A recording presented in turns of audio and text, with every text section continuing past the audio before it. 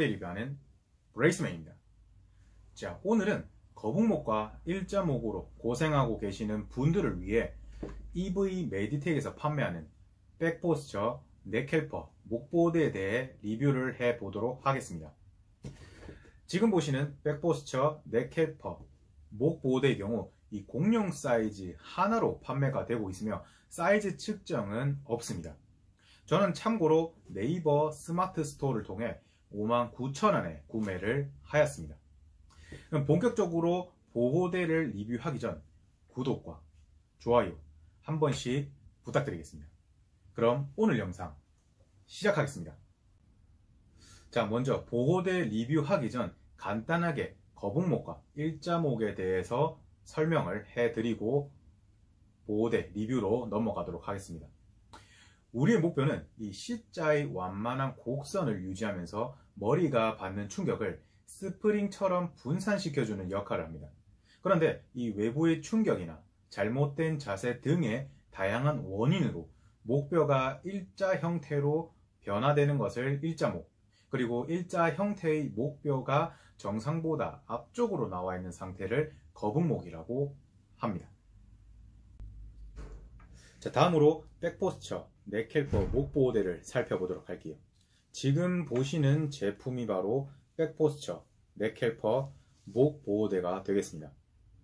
일단 보호대 위쪽을 살펴보시면 이렇게 U자 모양으로 된 쪽이 바로 턱을 받쳐주는 턱 받침대가 되겠고요. 그리고 턱 받침대 뒤쪽에는 목을 고정해 줄 수 있는 벨크로가 들어가 있습니다.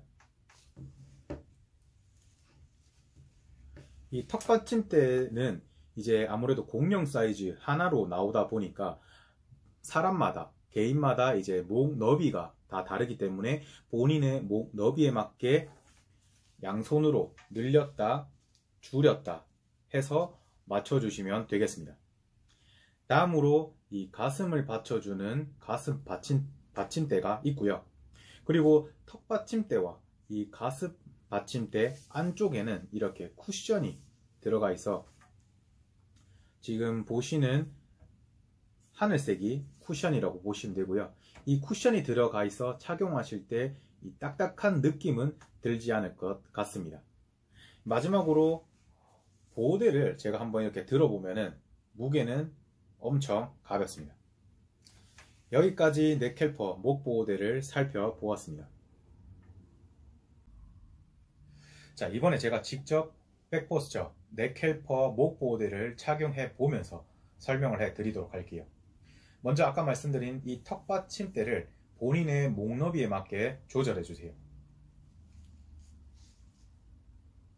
그 다음 턱 밑에 턱받침대를 위치시켜 줍니다.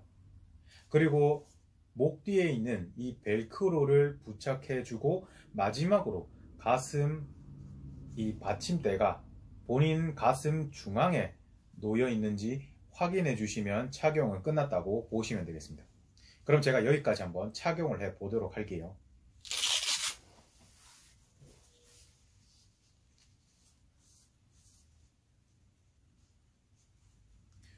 웬만하면 목은 중립적으로 일자를 맞춰 주시는 것이 가장 좋습니다.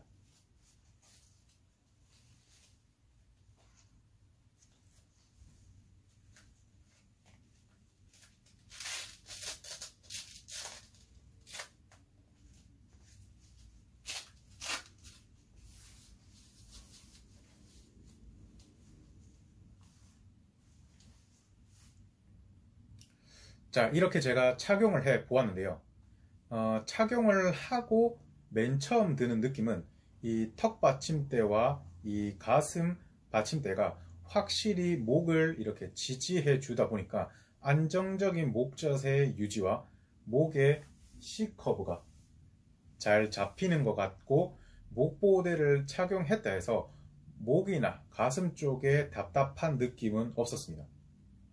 다만 좀 아쉬운 점으로는 혼자 착용 시 이 목의 중립 각도를 맞춰서 착용한다 하더라도 이 목 뒤편에 목 뒤편에 벨크로를 부착하는 도중에 목이 자꾸 아래로 향한다는 느낌이 들어서 이 올바른 자세를 잡기 힘들더라고요. 그래서 혼자 착용하는 것은 다소 힘들 것 같기 때문에 어, 웬만하면은 어, 주변에 있는 사람들한테 도움을 요청해도 괜찮을 것 같습니다. 이상 백포스처 넥헬퍼 리뷰를 마치고요. 오늘도 시청해주신 많은 분들께 감사드리며 다음 영상도 알찬 보호대를 가지고 돌아오도록 하겠습니다. 이상 브레이스맨이었습니다.